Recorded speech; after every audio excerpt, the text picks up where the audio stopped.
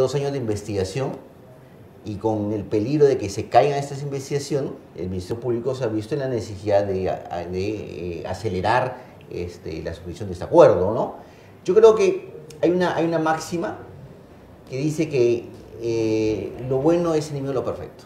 De repente no satisface a todos, pero yo creo que sí es importante que la Fiscalía se enfoque en las obras corruptas, ¿no? Porque acuérdate que la Fiscalía ha comenzado a perseguir a los partidos políticos, ¿no? Porque han creado esta teoría de que el financiamiento es ilícito y lo han tratado de encuadrar en lo que es el delito de lavado de activos, cosa que no es. Y no solo lo digo yo, lo dicen este, toda la eh, academia y todos los eh, abogados que conocen el derecho penal. Entonces, yo creo, y nosotros siempre dijimos, la Fiscalía está cazando Pokémones. La Fiscalía debe concentrarse en lo que es los actos de corrupción, porque es finalmente el dinero de todos los peruanos. ¿no? Entonces yo creo, yo creo que ya con este, con, este, con este acuerdo se enmarca más o menos en lo que se va a investigar y justamente que se va a llevar, digamos, al juicio, al juicio, al juicio oral en los procesos respectivos. ¿no? Ahora, yo también entiendo que la Fiscalía puede investigar estas obras y eso sí hay que exigirle.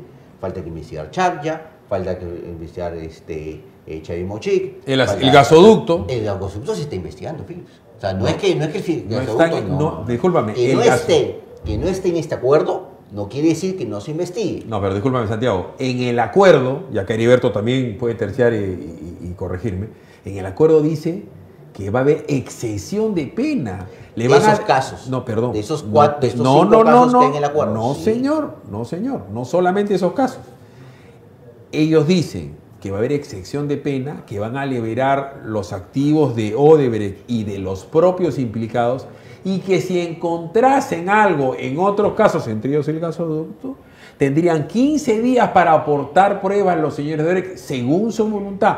Pero si no quieren, no quieren, dicen, no sé nada, no me acuerdo, yo no di, no es corrupta, pero ya le diste la extensión y no lo puedes jugar No, por nada. no, no. Eso lo dice el acuerdo. No, el acuerdo lo que te dice es que sobre esas cuatro horas, si se ha incorporado una, una nueva obra, que es del gobierno regional de Ancas en la época del señor Álvarez, incorporado, ya son cinco, entonces sobre esas obras se va a investigar y sobre esas obras Odebrecht va a colaborar. También ha dicho, por ejemplo, que va a colaborar el tema del financiamiento, pero Odebrecht, por ejemplo, reconoce que el tema del financiamiento no es delito.